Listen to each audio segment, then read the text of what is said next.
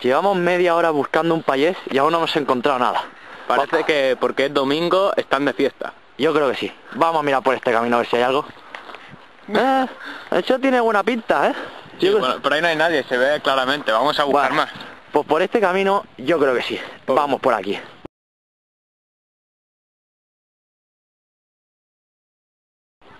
Parece que estamos ya llegando a algún sitio donde haya payeses. Yo creo que sí, pues eso tiene pinta de ser la casa del payés. Eso, estos terrenos de payés, seguro. Seguro. Mira, si por ahí hay uno. ¿Dónde? a ir a buscarlo. A buscarlo, va. Venga. Está allí, ¿no? Se le ve el coche ahí. Mira, también tiene caballo el payés. Parece que se dedica además de A los olivos. además de la agricultura a la ramadería. No se ve muy bien aquí en la cámara, pero bueno, pues allí vamos a entrevistarlo. Eh, ¿Qué producciones haces? ¿Qué producciones? Pues este año, este año ha ido un poco bien, unos 1.800 kilos Eh, de olivas. de olivas. Sí. Eh, ¿Qué más? Eh, ¿es, un ¿Es un negocio su faena o lo hace por...? No, mm, lo, lo traigo de, de familia y lo voy conservando. Va.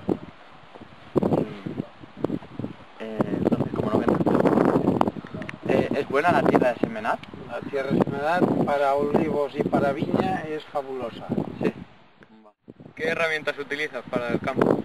Pues mm, tractores con, con araos y, y ensulfatadoras y, y producto ecológico ahora 100%. Es dura la faena. Para quien le gusta no.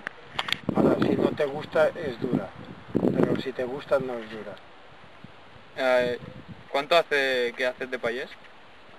Mm, Yo mm, tengo 55 años, hago de payés cuando tenía 14 años, después mm, dejé de payés y ahora pues continúo esto, no es mi, mi oficio, pero, pero lo continúo porque más o menos pues lo entiendo y, y Para seguir el de la familia. para seguirlo el, el ri- el régimen de, de la familia tradicional.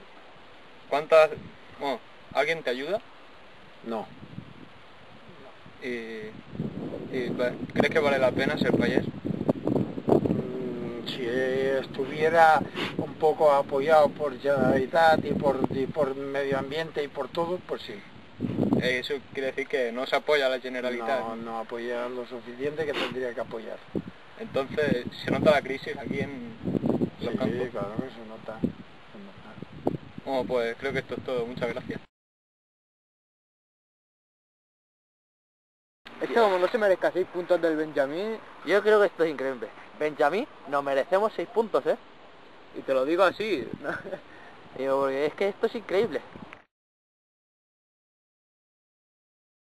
Mm-hmm.